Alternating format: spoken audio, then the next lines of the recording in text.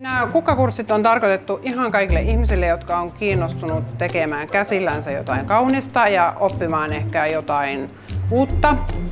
Ja tänne ei tarvi olla minkäänlaisia ennakkotietoja kukkasista, että ihan avoimella iloisella mielellä kun tulee, niin pärjää kyllä ihan varmasti. Ja me opetetaan ihan kädestä pitäen tätä asiaa ja meillä on hyvin pienet nämä ryhmät, eli jokaista oppilasta ehditään kyllä huomioida tässä ja kaikki saa varmasti hienot kimput tehtyä.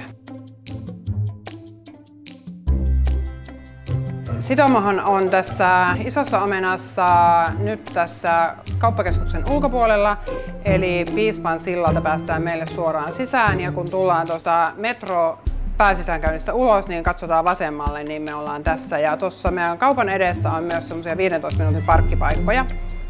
Helppo tulla autolla tai sitten kaikilla mahdollisilla kulkuvälineillä.